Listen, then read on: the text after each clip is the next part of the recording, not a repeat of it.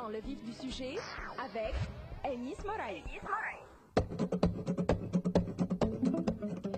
8h12 minutes sur les ondes d'RTCI. Bienvenue encore une fois à toutes celles et à tous ceux qui viennent de se joindre à nous. Réveil malin, c'est jusqu'à 9h et là, c'est la deuxième partie de notre rendez-vous. Il s'agit dans le, dans le vif du sujet, comme tous les mercredis, avec Anis Marai, avec de nouvelles thématiques, de nouvelles polémiques et des invités des plus, des plus intéressants. Euh, Anis, bonjour. Bonjour. Bonjour Fatma. Alors euh, aujourd'hui, nous allons parler de la loi sur euh, donc euh, la consommation du cannabis, la fameuse loi 52. Oui, tout à fait. Donc, dans une deuxième partie, on va parler de cette fameuse loi qui fait polémique actuellement, la loi numéro 52 de 92 relative aux stupéfiants. Mais auparavant, on va essayer aussi de discuter, je dirais, euh, des agressions qui sont en train d'être faites contre les décideurs d'opinion, contre les journalistes, contre donc euh, les martyrs, euh, les familles de martyrs de la Révolution. et pour en débattre, j'ai le plaisir aujourd'hui d'accueillir deux éminents invités, hein, si vous exprimez ainsi. D'abord, si Mounir El-Fershishi, juge, donc président du tribunal de première instance d'El-Kef. De Jeanne voilà, de Jeanne euh, tout à fait. Euh, soyez le bienvenu, oui, euh, Simounir. Simounir est un habitué de RTCI.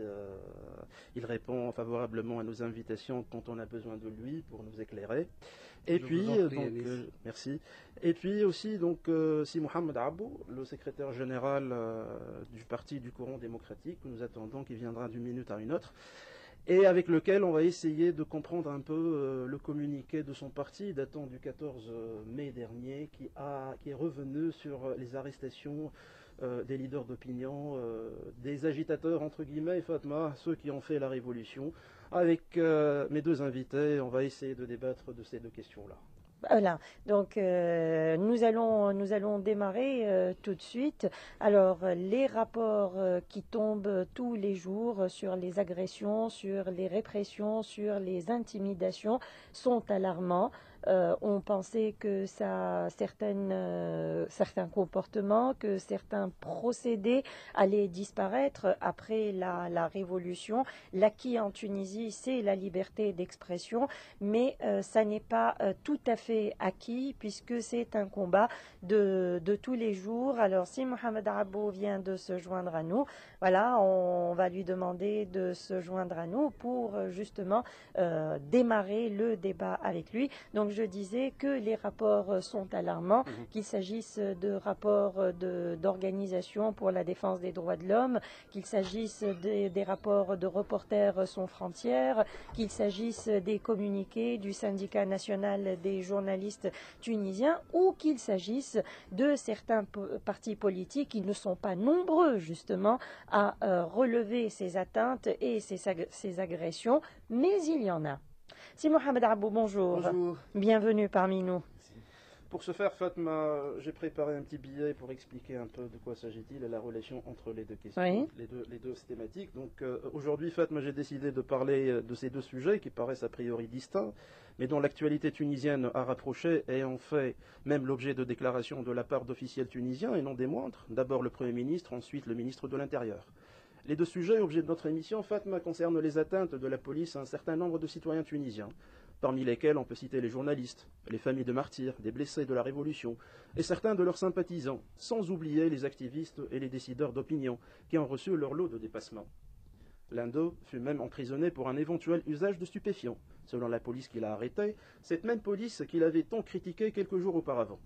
Son arrestation a jeté un pavé dans la mare, les uns et les autres jurent des grands dieux que c'est de, la basse œuvre d'une police digne de l'Ancien Régime, qui retrouve sa verve après avoir été étété un certain 14 janvier. Police revancharde ou police appliquant la loi, le débat bascule vers une autre question, la, dépénalisation du cannabis et l'amendement de la loi numéro 52 de 1992 relative aux stupéfiants. Même le chef du gouvernement s'y met et déclare travailler sur l'amendement de cette loi que beaucoup trouvent anachronique et surtout injuste un tabou est en train de tomber, c'est peut-être aussi un subterfuge de moins pour les autorités qui useraient, et j'emploie le conditionnel, des méthodes peu orthodoxes pour bâillonner les agitateurs. Entre défenseurs et adversaires de la loi, le débat est houleux et l'issue incertaine. Entre-temps, les agitateurs croupissent en prison en attendant d'être jugés pour une affaire qui sent vraiment le fit, excusez-moi, le shit. Alors euh, si Mohamed Abou, on va attaquer avec vous puisque vous venez de publier un communiqué pour dénoncer justement les agissements, pour dénoncer le retour de certains euh, procédés qu'on croyait euh, révolus avec l'ancien régime. Voilà. Donc ce qu'on dénonce, c'est cette possibilité, je ne dis pas cette possibilité, j'affirme pas, mais cette possibilité de retour des anciennes pratiques.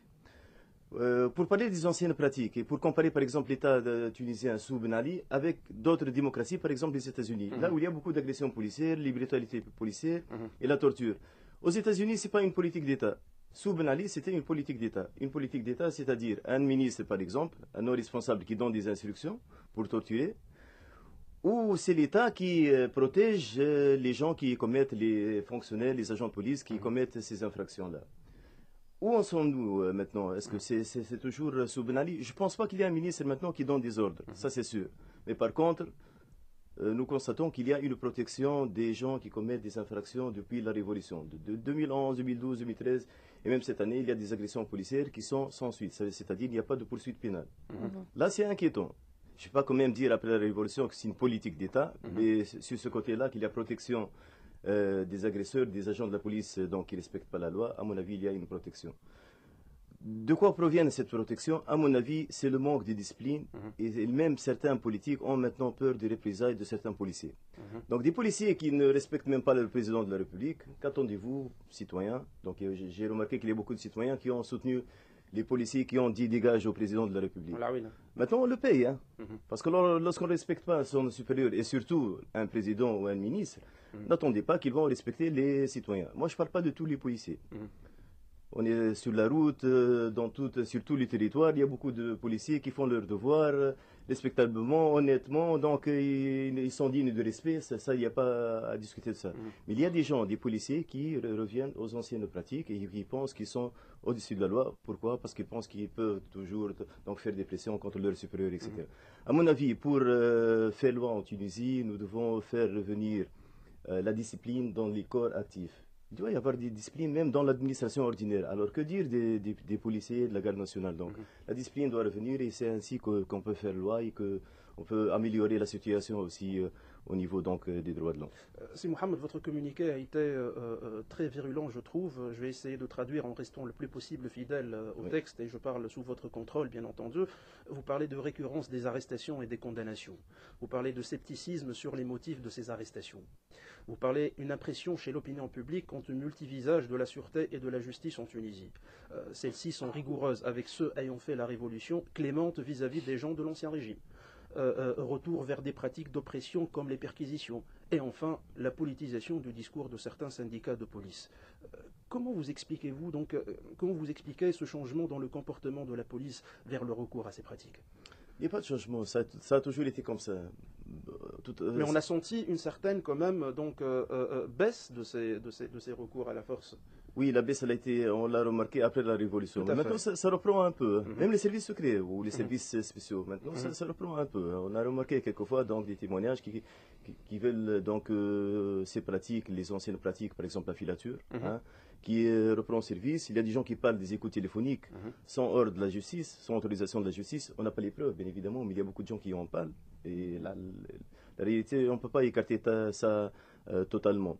Euh, il y a des agressions policières avec ce gouvernement plus qu'avant, je le, pense. Mhm. On ne peut pas savoir c'est quoi la vraie cause. Mais j'aimerais bien savoir, euh, rappeler une chose. Lors de la constitution de ce gouvernement, nous étions contre certains ministres. Mhm. Nous, le respectons maintenant, c'est la majorité qui les a choisis, mhm. donc euh, il y a le total respect. Mais lors de la donc, désignation du gouvernement à l'Assemblée, nous étions contre M. Sfar, pour une simple raison, on ne le connaît pas. On ne peut pas prendre une position sur des rumeurs, ça c'est sûr. Mhm. Mais lorsque quelqu'un a travaillé dans la police pendant des années, même sous Bourguiba, Mhm. à mon avis, il ne peut pas être ministre. Avec tout le respect que je lui dois. Je ne sais pas s'il est bien ou, ou pas. Aucune preuve. Je n'ai pas assez d'informations au, ni- au niveau du ministère de l'Intérieur. Mais logiquement, après une révolution, les ministres doivent être des gens qui sont avec la révolution. Mais vous êtes, vous êtes pas- juriste pas- aussi, Mohamed. Là, vous, devez présumer la bonne foi aussi dans ce ministre-là. Ce n'est pas parce qu'il a C'est fait pour ça que je l'ai pas. C'est pour ça que je l'ai pas attaqué, mais j'ai Oui, remarqué. mais vous l'avez pas soutenu non plus. Non, pas Oui. soutenu, bien évidemment, Oui. pour une simple raison. On ne peut pas être directeur de la sûreté, euh, de, la sûreté de l'État sous Bourguiba et être ministre après une révolution. Mhm. Je sais pas, peut-être qu'il est bien, peut-être qu'il est bien plus que les autres. Mhm. Mais ça, c'est théorique. Normalement, on ne peut pas prendre un risque. On ne peut pas être ministre. Un directeur général de la sûreté, bien sûr, qu'il doit être, euh, qui fait partie du corps des, des Mhm. policiers, bien sûr. Avec son expérience, de toute façon, il doit être policier. Ça, c'est sûr, il n'y a pas de problème. Mais un ministre, à mon avis, c'était une faute. Il fallait, pas- il fallait pas prendre le risque. Parce Alors- que lorsque- lorsqu'on a toujours, on, a- on passe des années à justifier la torture, on ne peut pas être ministre qui euh, interdit aux policiers de recourir à ces pratiques-là, à mon Mhm. avis. Alors, si Mohamed, vous évoquiez euh, le- les syndicats justement de, des forces de l'ordre, tous syndicats euh, confondus. Alors, quelle est leur responsabilité? Est-ce que vous pensez qu'ils sont quelque part responsables de ce retour euh, donc à l'usage de, de la force, de la répression, ou euh, ne serait-ce que euh, dans, dans le, le, le fait de défendre euh, des collègues euh, et de, de défendre l'indéfendable. du corporatisme, Oui. c'est ça le problème, le corporatisme. Sinon, défendre ses collègues, c'est tout à fait normal qu'un Mhm. syndicaliste défend ses collègues. C'est Mhm. c'est- pour ça qu'il est là. Mais défendre ses collègues qui ne nuisent pas à l'image de la police. Mhm. Je suis avocat, je ne défends pas un avocat qui nuit à l'image de la, de, de la profession d'av- d'avocat. C'est c'est clair. Donc, il- euh, à mon avis, donc, euh, il ne faut pas généraliser. Il y a des syndicalistes qui sont vraiment euh, donc qui respectent la loi et qui veulent donner une bonne, euh, une belle image de la police. Ils le font d'ailleurs. Mhm. Il y en a d'autres euh, aussi qui sont là juste pour donc toucher à cette image, vouloir avoir une certaine autorité Mhm. hors de la loi, c'est-à-dire qu'ils sont maintenant une, une force donc qui peuvent le- qui peuvent exercer même contre leurs supérieurs. Mhm. C'est pour ça que j'ai parlé de la discipline, de la hiérarchie qui n'est plus respectée dans les, les forces de police.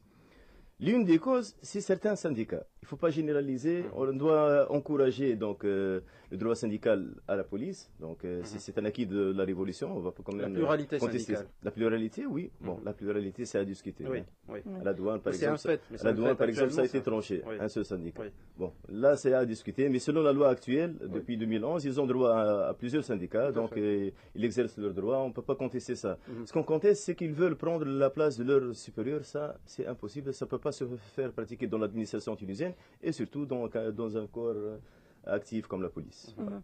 Alors, Simonir Ferchichi, je rappelle que vous êtes le président du tribunal de première instance euh, du KEF, euh, de Jandouba, pardon.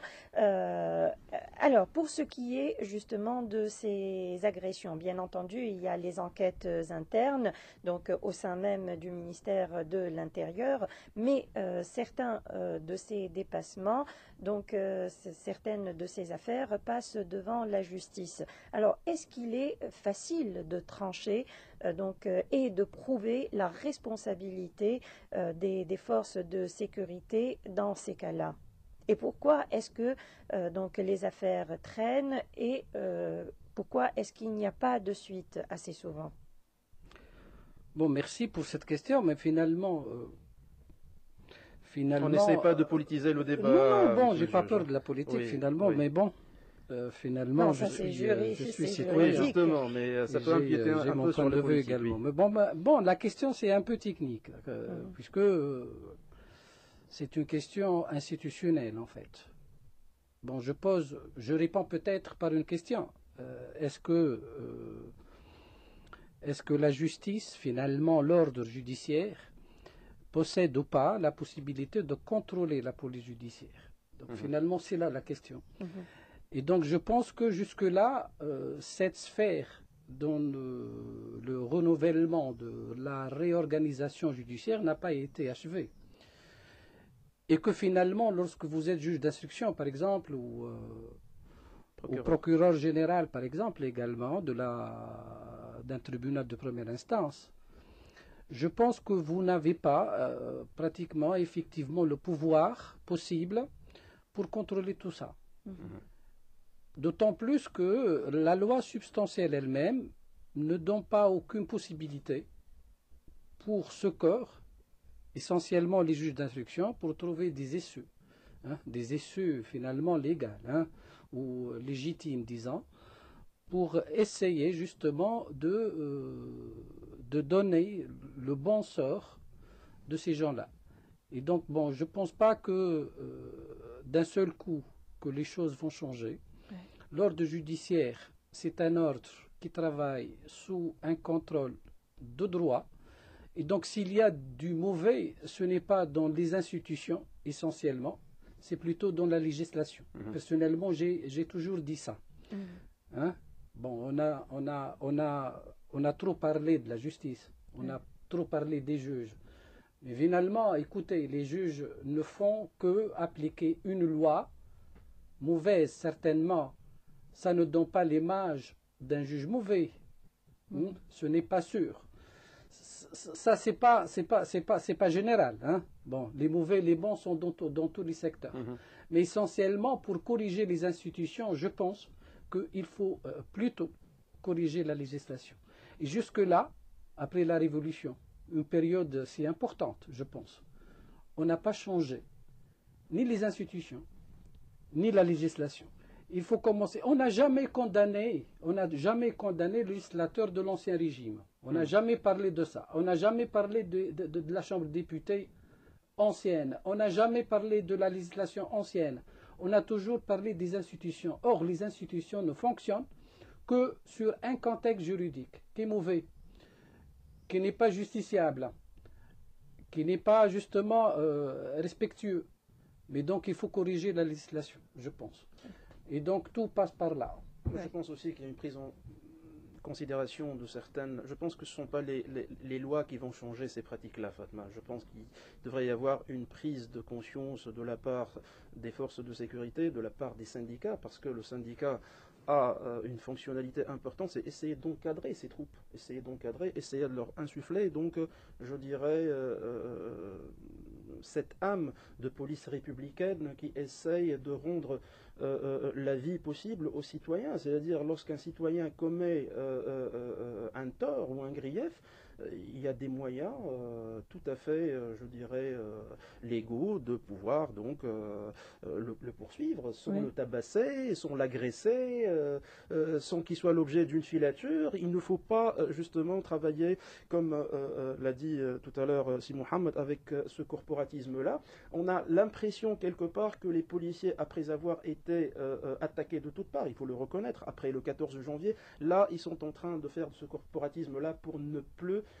que cette euh, euh, euh, voilà ne plus revivre donc cette, cette situation là.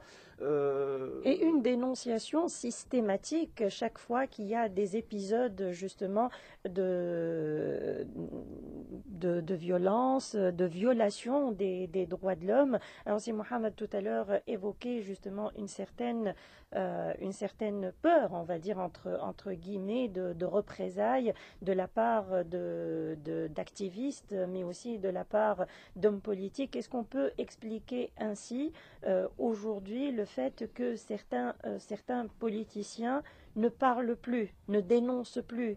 Euh, Fatma, juste pour terminer mon idée, le fait que le ministre de l'Intérieur ait reçu le syndicat national des journalistes tunisiens à qui il a présenté ses excuses et a promis donc d'ouvrir une enquête. Et, selon euh, euh, les infos que je possède, euh, celui même qui a tabassé donc un journaliste a été même arrêté donc administrativement de ses fonctions. Euh, signifie que euh, le ministre de l'Intérieur lui-même est conscient euh, des, des, dérives qui sont en train d'arriver, parce qu'à chaque fois qu'un journaliste, on ne parle pas des leaders d'opinion, on y arrivera, le cas donc à propos du cannabis, mais les journalistes à chaque fois qui sortent pour donc couvrir une manifestation, eh ben, tout à fait, il se fait tabasser, il se fait agresser, et ça c'est intolérable et inexplicable. Voilà, c'est Mohamed. Moi, je pense que ce qui manque maintenant, je pense tout d'abord que c'est possible la, réforme de la police. Contrairement à d'autres pays, là où on doit changer tout le corps, ce n'est pas le cas de la Tunisie. C'est possible. C'est pour ça qu'on voit des milliers de policiers, peut-être la majorité des policiers, qui respectent la loi et qui sont corrects. Mhm. Donc, à mon avis, c'est possible cette réforme. Mais ce qu'il faut faire pour les autres, les gens qui ne sont pas donc euh, soucieux du respect de la loi, à mon avis, c'est instaurer de nouveau les inspections de police, parce qu'il n'y en a pas. C'est vrai qu'il y a théoriquement. Oui, il y a, oui, ça existe. Il y a, oui. l'inspection à, à chaque corps de police, la Mhm. garde nationale, la police. Mais après la Révolution, M. Rach a pris une position, une décision, en fait, d'annuler la haute instance Voilà, d'inspection. la qui- fameuse police des polices. la fameuse euh, police voilà, des oui. polices qui avait 120 agents seulement, mais qui travaillait sur tout le territoire de la Tunisie. Qui Et avait qui même- était un recours pour les citoyens. Même, même sous Ben Ali, ce n'était pas efficace, mais quand même, il y avait, Il y un, avait un ce- effet dissuasif avec Ouais. ces 120 euh, policiers qui ont été donc menacés et harcelés après la Révolution. Mm. Pourtant, ils ne faisaient pas de la politique, hein, Mm. ils contrôlaient la police. Peut-être qu'ils contrôlaient la police aussi pour des raisons politiques. Tout Ben à Ali, fait. tout avec les institutions, mais au moins, quand même, il, il- il arrivait à arrêter plusieurs policiers pour Mm. corruption et autres.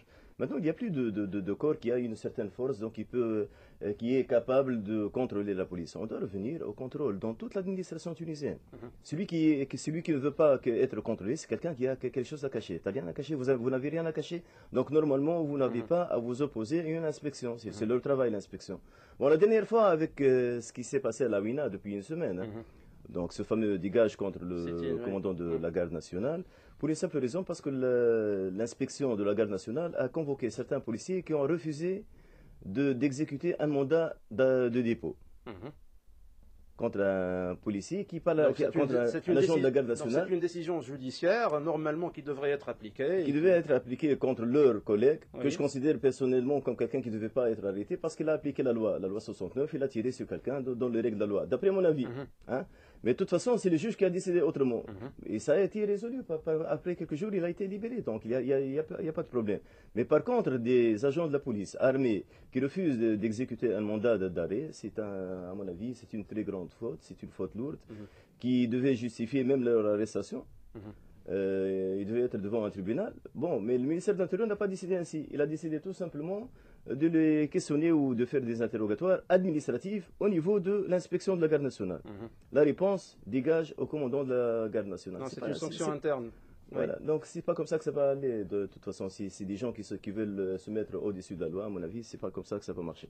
Euh, si Mohamed, on va essayer de basculer donc dans le sujet relatif aux stupéfiants. On va faire la jonction entre justement euh, euh, euh, la police euh, dans ses dérives et éventuellement donc l'utilisation de ces subterfuges. Je parle conditionnel par rapport à certains agitateurs entre guillemets et leaders d'opinion à qui on flanque parfois donc je dirais le fait de consommer euh, du cannabis euh, pour euh, éventuellement les mettre au cachot pendant euh, quelques temps. C'est arrivé avec euh, euh, euh, le leader d'opinion Aziz Armem. On ne sait pas si la personne a réellement consommé ou n'a pas consommé. On n'est pas là pour dire, pour défendre X ou Y, mais on a envie de comprendre un peu euh, ce qui se passe et nous basculons vers la question relative donc euh, au, cannabis. D'abord pour la question de, là une petite parenthèse que j'ouvre de, Aziz Armemi. Est-ce que vous pensez réellement qu'il y a eu, là vous avez parlé de ça dans votre communiqué également, selon les infos que vous avez, est-ce qu'il s'agit réellement d'une utilisation qui a été faite de, ces stupéfiants ou il s'agit donc d'un moyen pour euh, mettre cette personne donc euh, derrière, je dirais en prison, selon vous? On ne peut pas se prononcer directement euh, donc, con- concernant une affaire, on n'a pas les preuves. hein. Mhm. On ne sait pas si s'il a vraiment consommé ou pas, on ne Mhm. peut pas savoir. Mhm. Mais il y a une autre question qui se pose. Supposons que, que quelqu'un commet des infractions, Mhm. quelqu'un, un homme politique, un militant, etc., qui commet des infractions, et c'est un être humain qui peut commettre des fautes. Bien évidemment, lorsque euh, on trouve donc des preuves qui- qui- qu'il a commis ces infractions, il doit être sanctionné comme tout le monde. Oui. C'est- c'est l'égalité euh, des Personne n'est au-dessus de la loi. Voilà, c'est très simple. Et surtout, surtout un homme politique, ou surtout un homme public, je veux dire. Oui. Là, on doit être clair. Mais est-ce que la police a le droit d'harceler quelqu'un pendant des semaines, par exemple, pour, lui- pour lui chercher une infraction? Mhm. Mhm. S'il arrive à établir la preuve qu'il a commis une infraction, légalement, je ne vais pas contester ça. Et, et- et Mais, justement, oui, mais oui. Politiquement, c'est inacceptable. Oui. Parce que ça, ça touche à la crédibilité de l'État. Donc, on met quelqu'un euh, devant nous, on, cherche, on lui cherche n'importe quelle faute pour le mettre en prison. Même s'il commet cette faute, politiquement, moralement, c'est inacceptable. Juridiquement, bien sûr, s'il a commis cette faute, il doit être sanctionné comme Oui. tout le monde. C'est Simoniev, sur le plan donc judiciaire, le fait qu'il ait fait l'objet donc d'un mandat de dépôt après avoir été entendu par le juge d'instruction, est-ce que cela prouve que finalement il a consommé donc des stupéfiants Bon, finalement, je ne peux pas parler d'un cas précis, surtout qu'il est encore devant l'instruction, mhm. donc je dois respecter ça. Mais finalement, je parle de, toute, la procédure mhm. euh, relative à ce genre de, délit. Euh, bon, si euh, nous lisons la loi, on trouve qu'il n'y a pas de possibilité pour le juge d'instruction pour libérer un consommateur. D'accord c'est pour une simple raison que euh, la preuve se fait euh, justement techniquement. Bon, il y a un test euh, d'analyse qui, qui, se réalise. Bon. Oui. Un test, je parle là objectivement. Oui, Comment ça se fait, c'est pas mon affaire. Oui. Ça, c'est notre paire de manches.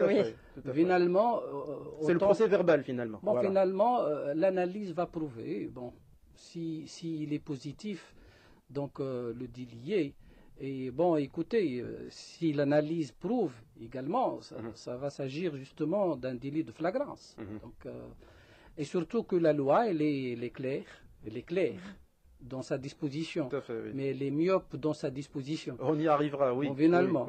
Mais bon, si vous appliquez l'article 4, si vous appliquez également l'article l'article 11, je pense, ou 13, c'est-à-dire qu'il y a une peine bien précise qu'il faut appliquer, qu'il n'y a pas de classification, il n'y a mhm. pas de récidivisme ou pas, mhm. il n'y a pas d'une typologie.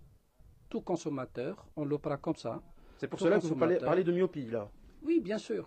Puisque finalement, la loi, elle est là pourquoi mhm. C'est soit pour protéger, soit pour stabiliser une situation, soit pour éliminer un phénomène. Et sur ces trois angles, cette loi n'a pas fourni euh, ces résultats. Mhm. Enfin, finalement, elle n'a pas protégé, puisque le consommateur, parfois, il est une victime. Mhm. Parfois, je mhm. dis. Elle n'a pas éliminé le phénomène, puisque, bon, il y en a, encore. On voit une augmentation, justement, du nombre de Elle n'a pas stabilisé une paix sociale, puisque, puisque le, le, mal, il est là. Donc, je pense que cette loi doit être, doit être, je pense, elle doit être modifiée. Elle mhm. doit être modifiée euh, et pour donner plus de liberté aux juges de se comporter plus subjectivement, si vous voulez, avec les cas. Mhm. Hein? On ne peut pas mesurer d'une façon générale et absolue tous les consommateurs. On critique souvent euh, la question euh, devenue euh, depuis donc ironique quelque part lorsqu'on dit celui qui consomme donc aura droit à une année et une Vespa. Donc une année de prison et 1000 dinars. la Vespa coûte plus cher actuellement, mais c'est juste. Il faut actualiser. exactement, il faut actualiser. Justement, mais parfois, le Vespa, c'est à, crédit. Oui, à crédit, voilà. Mais à crédit, c'est encore avec le taux d'intérêt. Donc, c'est encore plus. Mais, justement, est-ce que vous, en tant que juge, euh, euh est-ce que vous avez eu l'attitude d'interprétation de ce texte-là? Il n'y a pas à interpréter. C'est-à-dire Aucune possibilité d'interprétation. C'est-à-dire, si quelqu'un arrive devant vous, que le procès verbal fait dans le poste de police. Vous appliquez la loi. La loi, elle dispose que. Voilà, c'est l'article 4. La peine, c'est de une année à 5 ans. Oui, oui. Et de euh, Vespa. Hein, oui, un million jusqu'à 3000 dinars. D'accord. Généralement, il y a une jurisprudence constante, je peux dire, constante, que on applique le minimum de la peine, c'est-à-dire une année et euh, 1000 dinars. Donc c'est la, la, possibilité nécessaire et euh, possible, justement, euh, d'interprétation. Euh, ce qu'il faut faire, c'est que il y a un article fameux de mhm. notre code pénal, c'est l'article 53. Oui. Cet article donne une possibilité au juge d'apprécier le cas. Mhm. Mhm. C'est ce qu'on appelle l'appréciation souveraine des juges. Et ça, c'est clair. C'est clair, puisque c'est l'élément de distinction entre un procès pénal et un procès civil. Civil, tout à fait. Pour le procès civil, le juge garde sa neutralité. Il est juste un arbitre. Finalement, vous passez vos preuves, c'est une balance. C'est finalement euh, celui qui a plus de motifs. Euh, par contre, euh, vous, vous, devez apprécier, par votre justement appréciation, dans le procès pénal. Parce mhm. que le, le, criminel, ce n'est pas toujours le criminel. Hein. Mhm. Il y a le criminel par occasion. Bon, je ne peux pas revenir là à Spinoza, mais euh, il n'y a pas, il n'y a pas une catégorie unique Une typologie, de disons. criminels. Donc là, il faut faire la distinction. Mhm. Et qui va faire la distinction C'est le juge. La distinction selon le niveau social, selon le contexte général, selon les circonstances de délit. Ceci n'existe pas dans ce genre de délit. Mhm. Surtout que la loi a éliminé expressément l'application de l'article 53. Et, et qui sont concernés par euh, cette loi-là, c'est-à-dire le consommateur, celui qui se trouve avec lui, euh, Tout. euh, tout le monde. Celui qui consomme, Oui, celui finalement, je ne dis pas celui qui consomme, Oui. celui qui, l'analyse a prouvé qu'il contient dans son corps les, les stupéfiants. Donc là, euh, il est considéré comme étant un, un- un criminel. Mhm. Quelle que soit sa, situ- sa situation, étudiant, élève, femme, fille, euh, mère, Mhm. père, Mhm. Un représentant de je ne sais pas quoi, un Mhm. responsable administratif, même un juge. Oui, Bon, finalement, les juges ne sont pas au-delà de la loi tout à fait. même un ministre. Donc on fait fa- on fait pas de distinction. Et là, c'est et là c'est le, le malheur, c'est là. Mhm. Le malheur, c'est que il faut pas se comporter de la même façon devant devant cette catégorie de gens. Parce que parfois on consomme juste pour pour, pour savoir de quoi il s'agit. Mhm. Donc Par ce n'est pas un criminel au ouais. sens au sens. euh, Et là, vous êtes pris en flagrant délit. Voilà. Voilà. Et donc c'est la même peine. Oui. Alors, Simon, Simonir, là, euh, on, parle malheureusement, donc même pour des jeunes euh, qui ne sont pas conscients, qui n'ont pas été avertis, qui ont été euh, donc induits en erreur, et bon, voilà, c'est une erreur de jeunesse, ils sont dans la case criminelle. Aujourd'hui, beaucoup de, familles, justement, de personnes ayant été emprisonnées à cause de la consommation du cannabis, parce que la loi est la même pour la consommation des, du cannabis et des drogues dures. Alors, mais ces gens sentent une injustice parce qu'ils estiment que les dealers, euh, que euh, les, les vrais criminels ne sont pas euh, poursuivis ou la loi n'est pas aussi dure avec eux. Alors, est-ce que justement, euh, pour ce qui est euh, des, des dealers, des trafiquants, est-ce que le juge a justement cette, euh, cette liberté euh, de La pour, peine, pour interpréter un petit peu la loi pour euh, Oui, bon, bon. La peine est encore plus accentuée C'est un, ce peu, c'est un peu, c'est un peu compliqué, Mhm. puisque finalement, pour, euh, pour les, euh, pour les, euh, les teneurs justement, pour les commerçants, si vous voulez, euh, c'est faux de dire que la peine n'est pas, n'est pas lourde contre eux. Elle est lourde. mhm. Mais le problème, c'est que c'est difficile à, à les découvrir. C'est- pas, c'est pas disponible à le faire, à le faire justement. Euh, et ce vis-à-vis, au contrairement pour les consommateurs, parce que pour les consommateurs, c'est facile pour les ramasser. Oui. hein? Donc c'est, c'est- c'est- c'est justement, ils sont clairs, ils sont. à- Les dealers En connaissent les techniques justement. policières. Par contre, Oui. les autres, et finalement, c'est une question, si vous voulez, c'est- plutôt international. Ce sont des, euh, des professionnels. les donc c'est réseaux. difficile. oui. Mhm. Dire que le juge n'applique pas la bonne loi, non. Hein? Euh, pour, pour ce genre de, de criminels, la loi elle est claire, l'application également, et bon, elle est lourde. C'est entre 6 Mais- et 10 ans, je pense. Euh, Ça peut arriver jusqu'à vie. Oui, oui. Mhm. C'est- Si, si on est dans un groupe, donc euh, voilà, c'est. Oui, Oui. oui. Et bon, il est difficile de les découvrir. Généralement, le problème de, de contrebande, euh, c'est le même. hein. La Mhm. contrebande des armes, c'est également la contrebande des, des stupéfiants. Mhm. Finalement, le phénomène, c'est encore plus lourd. Mais dire que la justice n'est pas consciente de ça, non, elle est consciente. Mhm. Bon, le problème, je pense, c'est qu'il faut euh, alléger quand même et donner plus de liberté pour les consommateurs. Mhm. Personnellement, ça c'est mon opinion. Je pense que certains, un grand nombre de consommateurs, euh, plutôt, euh, ils ont une nécessité de protection plutôt que les pénaliser. Mhm. Et là également, euh, euh, je pense qu'il y a euh, une possibilité de revoir plutôt une peine euh, de, de correction, Mhm. parce que finalement la prison ne corrige pas. Mhm. Au contraire, dans certains cas, au contraire, on arrive en prison euh, justement pour consommation d'un joint et on en sort euh, plutôt criminel ou projet de criminel. Oui, justement. Euh, c'est Mohamed, justement, la question actuellement, dépénalisation, pas de dépénalisation, le sujet a été évoqué à l'Assemblée nationale constituante. certains disent qu'il faut aller dans le sens d'assouplir cette loi qui est quand même myope, comme vient de le dire à juste titre l'honorable juge. Euh, Mounir Fashishi, euh, euh, selon vous, comment doit-on procéder Vous aussi qui êtes donc juriste et avocat donc de profession à la base, vous avez sûrement plaidoyé pour des gens ayant consommé donc du, cannabis. Quelle est votre vision par rapport à cette question?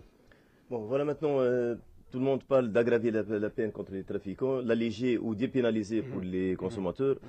Il ne faut pas parler d'aggraver la peine pour les, pour les, euh, donc, euh, les dealers pour une simple raison. C'est déjà très grave les peines pour euh, le trafic de stupéfiants. Ça peut arriver, comme l'a dit Monsieur le Président, à la, peine, bon, plutôt à la, perpétuité.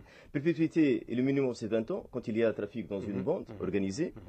Euh, de 10 à 20 ans lorsqu'il y a export ou import de, de, stupéfiants. Mhm.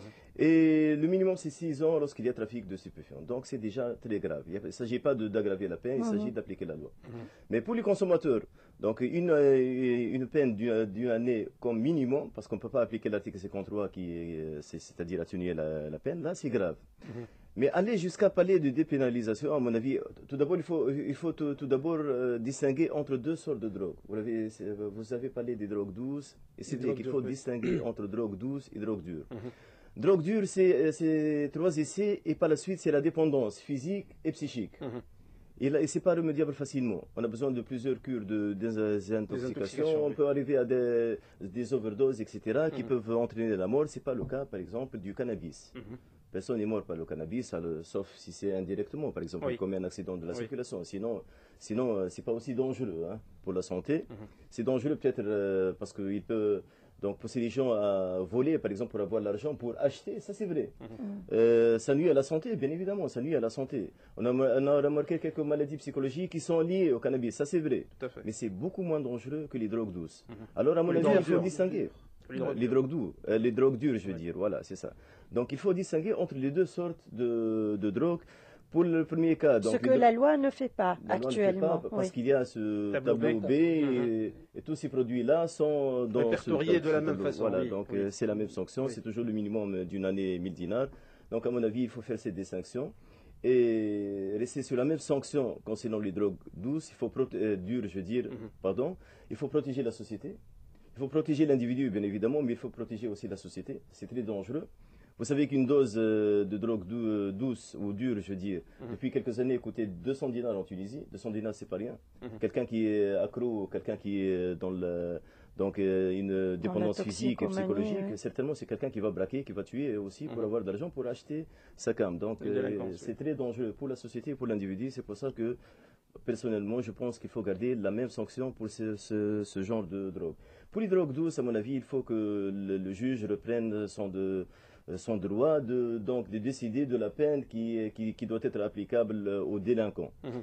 Euh, il faut aussi faire, euh, il faut peut-être aussi changer parfois, mais ça revient à la décision du juge, par le travail d'intérêt général. Maintenant, le travail d'intérêt général n'est pas possible pour la consommation de drogue. Mhm. Qu'il soit possible, il faut peut-être modifier ici le, code pénal pour, pour donc faire, pour faire en sorte que la consommation ou, ou la détention aussi de drogue douce peut être punissable seulement du travail d'intérêt général. Bien sûr, mhm. si l'accusé l'accepte, s'il s'excuse, s'il reconnaît sa faute et qu'il l'accepte. Mhm. Donc, euh, à mon avis, il faut faire cette distinction. Alors, si Mohamed, une question pour le politique que, que vous êtes, euh, mais aussi pour le, pour le juriste. Alors, ces lois, finalement, le, le législateur dit qu'elles sont là pour protéger la société et pour protéger le citoyen. Alors, le consommateur qui est assez souvent victime, donc, euh, puisqu'il a été entraîné dans la toxicomanie, dans la consommation, et euh, c'est un drame pour lui, c'est un drame pour sa famille et c'est un drame pour la société. Alors pour le protéger, outre la loi, il faudrait aussi des centres de désintoxication, il faudrait aussi une sensibilisation dans les écoles, dans les lycées, auprès justement de la jeunesse, mais dans, dans toute la société. Est-ce que aujourd'hui la lutte contre euh, la, toxicomanie ne devrait pas se faire d'une façon globale, c'est-à-dire pas uniquement la loi, la répression, la prison, mais toute une, une, différentes structures qui vont donc euh, travailler ensemble pour lutter contre ce phénomène. Excusez-moi, c'est Mohamed. D'ailleurs, juste pour euh, être exhaustif par rapport euh, à l'information, le ministère de l'Éducation, il a donc, publié à un certain moment, donc je dirais une enquête révélant que 50% des écoliers, des élèves du secondaire tunisien ont au moins essayé une fois Ah, le oui. cannabis ce qui est, euh, à mon sens, très très grave euh, dans les écoles. hein. On parle des écoles. Je ne sais pas si ces chiffres sont fiables, mais c'est Mhm. dangereux. Si, si, ils sont fiables, c'est les chiffres de- le cannabis. Oui, oui, oui. C'est une enquête Ça nationale. qu'il y a un vrai danger, à mon avis, c'est un danger. Même s'il s'agit de cannabis. Mhm. Même si on distingue entre drogue douce et dure, quand même, c'est- dangereux pour la santé. Mhm. On est même contre le tabac pour les, pour les enfants, alors que Mhm. dire euh, du cannabis? Donc, euh, bon. Mais je reviens à votre question, c'est normal, c'est c'est pas seulement le travail de la justice et de la police, il y a autre chose, bien évidemment. Mhm. L'école, doit faire euh, son devoir. Il faut, mettre- fait- faut- faut mettre des sondes de désintoxication, oui. D'ailleurs, je pense que ça n'existe même plus, donc euh, je ne sais pas si c'est Oui. Ajmal Oust qui travaille encore ou pas. Non, le, le problème, c'est qu'il n'y a pas de décentralisation. Finalement, si vous vous trouvez au Kef ou au Jandouba, vous ne trouvez pas ce centre. Voilà. Mhm. Et, et le- et le seul centre, à mon avis, c'est ici, à Jebel Oust. Et je suis pas sûr qu'il travaille encore. hein. Non, non, non, il ne travaille, il, n'existe plus. Il y a dans les services hospitaliers, donc il y a les services de toxico, là où on peut prendre en charge, mais le centre de Jebel El Oust, malheureusement, n'existe je- on plus. parle de désintoxication pour les drogues dures, parce que jusque-là en Tunisie, on est relativement épargné euh, de la consommation des drogues dures, il y en a des cas, mais pour le cannabis, je ne pense pas qu'il devrait y avoir, à mon avis, donc une prise Je en charge. pas. Oui, là, voilà. également, la loi ne distingue pas. Exactement. Si je me réfère à l'article 18, je pense, il ne distingue pas. Mhm. Et il ne donne pas une procédure fiable. Mhm. C'est-à-dire que euh, ça nécessite que euh, le- le- le- le- la, vi- la victime, enfin, Mhm. le consommateur doit se présenter avant qu'il soit découvert par la justice ou par la police. Oui, Donc oui, là, oui. comme il s'agit d'un piège finalement, ça c'est pas ça, c'est pas ça l'esprit. Un, deux, c'est que euh, il faut parfois changer la peine. Il faut, il faut que à- à- au La lieu d'emprisonner, il Hum. faut le mettre dans un centre d'intoxication. Mhm. Et que ceci doit être décentralisé, je pense, avec un contrôle judiciaire. C'est-à-dire que bon, on a déjà une institution judiciaire, c'est le juge, le juge de- d'exécution des peines, c'est ce Mhm. qu'on appelle ça. Bon, ce juge peut contrôler ces centres. Mhm. Je pense que le fait de donner ou de transférer un consommateur pour ce centre, ceci doit être contrôlé par un juge et que ça soit, ça soit justement décentralisé. Sinon, je pense qu'on pénalise parfois des victimes. hein. Donc euh, voilà. Alors tout à l'heure, hors antenne, vous nous citiez des exemples qui, qui étaient euh, déchirants. Par exemple, en cette période où les familles et les élèves se préparent pour les examens nationaux, pour des concours très importants, et c'est déterminant pour la vie. Donc il suffirait de la consommation euh, d'un- joint, donc d'une quantité, pour se retrouver euh, illico presto en prison et voir partir en fumée euh, justement l'avenir. Alors, est-ce que le corps des magistrats est, est- Conscient. Est- est conscient certainement, Et puisque certainement, vous, je vous pense êtes que j'ai là. donné la preuve. moi. Oui, voilà, vous êtes, vous êtes là, Oui, mais euh, est-ce qu'il est qu'il y a une, une espèce d'unanimité autour du besoin de réformer, de d'amender, de revoir cette Mais loi? Justement, euh, d'une part, je pense que j'ai- donné la preuve de cette conscience. Deux, la jurisprudence tunisienne, elle est constante sur l'application du minimum de la peine. Ça également, c'est une mesure qui Mhm. démontre Mhm. cette conscience-là. Encore, ça, bon, changer la loi, c'est pas l'affaire de, Mhm. c'est pas l'affaire des juges. Oui. hein. Donc c'est l'affaire de- du législateur, et je pense que la pression peut-être peut amener à ça. Euh, Juste pour expliquer euh, euh, peut-être une question, Fatma, ce que vous venez de dire, le juge malheureusement euh, n'a pas la possibilité d'apprécier si c'est c'est une personne qui se présente devant lui avec un procès verbal qui dit que le test est positif, il est obligé De le la mettre risquer en- la loi. oui, de la- C'est-à-dire, il n'a pas, il vient de le dire tout à l'heure, euh, monsieur le juge, cet article 53, donc, qui lui, ne lui donne pas la possibilité de dire, bah, écoutez, ça c'est un étudiant, c'est un élève, la, prochaine, la, la première fois qui, vient de, qui va passer son bac, j'ai envie de le laisser partir parce que je risque de lui briser son futur. Oui. Là, il n'a pas le droit, parce que s'il n'applique pas la loi, eh ben, ça sera lui qui sera sanctionné. Le juge sera sanctionné, mais les juges sont conscients qui euh, parfois il y a des drames et ils utilisent la borne minimale donc, Voilà, euh, de la loi. Voilà, c'est Mohamed. C'est ce que je voulais dire. Et donc le juge a à choisir entre une année et cinq ans. Voilà. donc, Voilà. les- Donc, il choisit une année, choisissent euh, le, voilà. le- le minimum. Mais, mais pour revenir à la police et à la drogue, la même, Oui. même chose. Lorsqu'un euh, euh, officier de police judiciaire écrit euh, sur un procès verbal qu'il a euh, donc euh, attrapé quelqu'un euh, euh, qui détenait de la drogue, il y aura par la suite analyse de la drogue, ça va être avéré euh, comme étant sur la liste Oui. euh, ou, euh, ou le tableau B, Oui. il sera automatiquement condamné pour une simple raison, c'est la force probante des procès verbaux. Oui.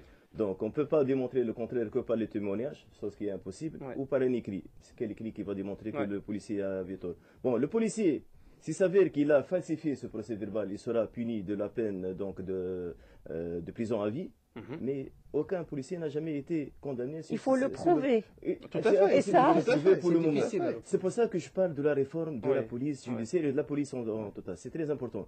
Finalement, on doit avoir confiance en quelqu'un, le policier. Ouais. Le police, le- le- l'officier de la police judiciaire, on doit avoir confiance en lui. Mais il doit mériter cette confiance. Voilà, c'est ça. C'est pour ça que, que, que je dois parler, que nous parlons, euh, je veux dire, de la réforme de la police. Oui. Voilà. Et qu'il faudrait qu'il y ait transparence, euh, qu'il y ait euh, responsabilité. Responsabilité et surtout donc application stricte de la loi à tout le monde. Eux, ils appliquent euh, la loi aux citoyens. Eux aussi, à chaque fois qu'ils commettent des infractions, ils doivent être sanctionnés.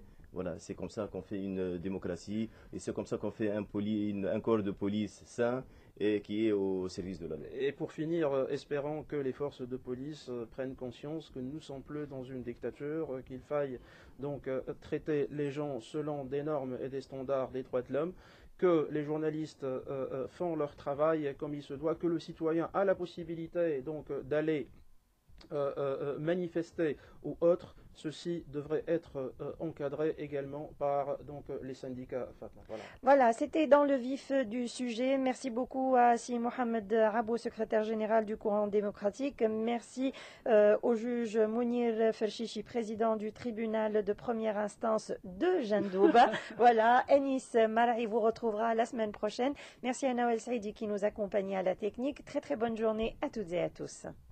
Nous rappelons à nos auditeurs que les propos tenus sur nos ondes expriment les opinions des personnes qui les prononcent et n'engagent en rien RTCI.